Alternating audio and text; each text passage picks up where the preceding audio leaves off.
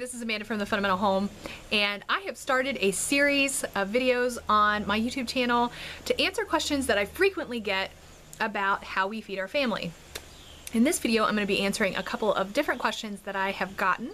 Um, recently, the blog, the blog, the vlog, the videos, the YouTube channel has gotten a lot of attention, and so I'm getting a lot of questions over and over again, and I just want to make sure that I'm covering them um, so that folks who ask the same questions, I don't have to keep answering the same question over and over again. So one question that I get pretty frequently is, what about milk?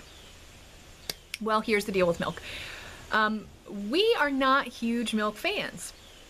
I mean, we do get milk from time to time. If you watch the videos here and there, I think I might have gotten some milk.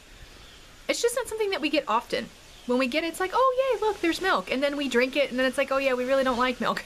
And then there's no need to get it again for a while. Um, it's just one of those things my kids are all older. They're not small children. Nobody, if anybody like had a taste for milk, I, I do feel really strongly about listening to your body. And if any of my kids were to say to me, Mom, you know, I've really been feeling like I need some milk, I would put milk on my list to make sure we're getting some because I think that if you really are desiring something, that your body needs it. So it doesn't happen though. It really doesn't. I can't, I can't remember a time that anybody's ever asked me for milk. They've asked me for other things, but not milk. So um, that's just one of those things that I don't know. I don't know that it's necessary for a body. I, I just don't know about that. So, and so far so good. We do well with it. So we're just not big fans of milk. We do get it from time to time. It is expensive. I do have a video where I share about how we use evaporated milk in cooking. And a lot of uh, recipes that call for milk, you can substitute other things. Uh, more often than not, especially in baking, I'll use sour cream. And if, if I need it more liquidy, I'll add a little water to the sour cream. Um, sour cream and yogurt are really great options. And we do buy yogurt and we do buy sour cream and I do buy butter. It's not that we don't have any dairy, it's just milk in and of itself is not one of our favorites. So that's how we handle milk. Another question I get a lot is, why do you keep flour in the fridge? And I always wondered why people ask me that because I thought, doesn't anybody watch baking videos. like you really, um, I just thought like a lot of moms understood that you want, if you make pastry doughs, this is why I do it. If you make a lot of pastry doughs, pastry doughs are best if all the ingredients that you use are cold. So I keep shortening in my fridge, I keep flour in my fridge. Because what I make most often in terms of pastry dough are pie crusts and biscuits. And I use, and of course butter is automatically in the fridge. So I keep those things in the fridge just for my use. And, um, but I had a couple people comment that they thought it was from bugs from getting uh, flour at the discount store. Well, let me say this. First of all, I've never found anything with bugs in it at my discount store. I have, however, found things like that at a regular grocery store. So, I mean, I think it could happen anywhere, whatever store you buy. That being said, I've never found it in flour, and most of the time I get my flour from Aldi. I don't get it from the discount store just because a lot of times they don't sell what I'm looking for, and Aldi is just as cheap. So it, it, I don't know, it just doesn't make any sense to me. So we normally get it from Aldi. So no, it's not a bug issue. Definitely not. It is just that I make pastry flour, or pastry doughs, I should say. Another question that I get pretty often is, um, can I see uh, foods that you make or a menu plan? Well, I have a ton of videos on the different foods that I make. I also have some blog posts on it at thefundamentalhome.com, which I will link up here. If you go to thefundamentalhome.com, um, definitely explore the site because I have meal plans on there. A lot of times, not every time, but a lot of times when I put videos with grocery hauls, I try to very soon afterwards share the meal plans that I have that go with that shopping video. And then I link all of the recipes, either my own recipes and videos or things that I've gotten from Pinterest, and I link them into the meal plan so you can see exactly what I'm eating. So if you go to the, the fundamentalhome.com, you can see the menus and the meals and links to everything. But in addition to that, people always ask about lunches and breakfast and snacks because I focus on dinners. If you go to thefundamentalhome.com and you go on the right hand side and you scroll down to popular posts, you will most likely see How I Feed My Family of Five for $100 every month, part one. Okay, that is the beginning of my blog series where I explain how we do our budgeting process, or excuse me, our grocery shopping process. that video, or excuse me, not that video. I, I, I confuse the blog posts and the videos because I do both. so anyway, that post is the very first one in the series, but it's got links to all of the other parts of the series. There's five parts. Part two talks about lunch and breakfast and snacks.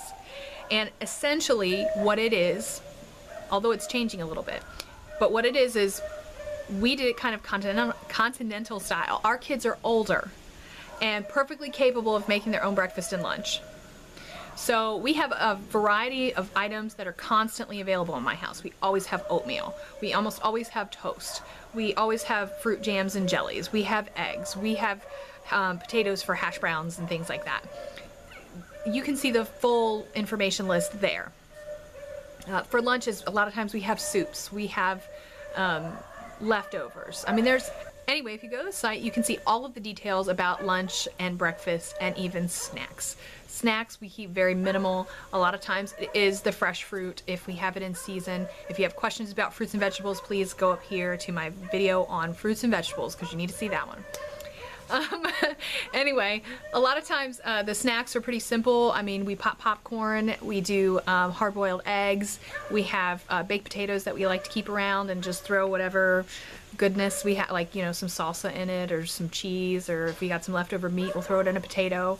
Those are the kinds of things we have for snacks. I mean, we keep it pretty simple. It's, it's nothing complicated. Briana does make cookies. A lot of times people ask about sugary snacks. Um, we make them pretty frequently. I try not to buy them because we don't need them. And I just think it's better if we're going to have them, if we're going to enjoy them, we should put the effort into making them and that'll keep us from having them too often. So anyway, that's how we do um, breakfast, lunch, and snacks. And that's why when you see me talk about a menu plan, I usually just plan the dinner. Uh, however, I will say this, my boys are getting older. Ricky's in college. When I when I wrote the blog post, it was a couple of years ago, I think. I can't remember. Brian was in school, but he was working, but he wasn't working as much. So it was it was a little bit different. Ricky wasn't in college yet. He was home. Briana was home and my husband came home for lunches. Since I wrote the blog post, excuse me, Brian now works full time. Ricky's in college full time and works. And so the boys aren't around as much for lunch. So I am finding myself having to pack a whole lot more lunches than I used to. So I'm actually in the process of kind of revamping it because I'm noticing that they're kind of getting lazy about it and not always remembering to bring their lunch. And then that stresses me out because I'm mom. And I know what you're thinking. I know what you're thinking because I've seen it already. They're old enough to do their own, and you should just let them starve. I know, but I can't. so I'm not going to. I'm going to revamp the process and make sure they have a nice lunch packed. And when they move out of my house, they're on their own. But as long as they're in my house and I'm their mother, I'm going to make sure they get a lunch and I'm make sure they have it packed and take it with them. I do not do that for my husband, and I will tell you why. Because years ago I tried to, and he told me no. so he doesn't like to take, he works in a grocery store and he doesn't like to bring food into the grocery store. It makes him feel uncomfortable. Well, he works, it's, it's more than a grocery store. It's got groceries and other items in it. So anyway, so he doesn't like to bring food into the grocery store.